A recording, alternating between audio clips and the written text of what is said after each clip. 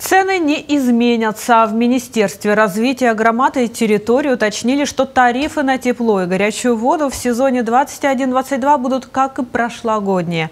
Вопрос с поднятием стоимости на услуги решили на Конгрессе местных и региональных властей, который состоялся в Одессе 30 октября.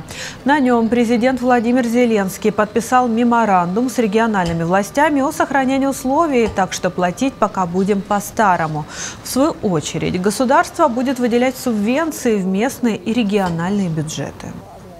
Держава забезпечує відповідну підтримку, в тому числі фінансово регіонів, е, за рахунок додаткових 4% ПДФО в кожній громаді.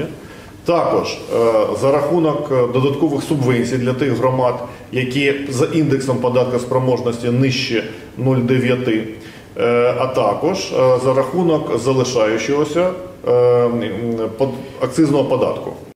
Напомню, что в Одессе отопительный сезон уже стартовал. На первом этапе тепло дали в одесские детские сады, школы и больницы. Отопление же в жилых домах города появится со следующей недели.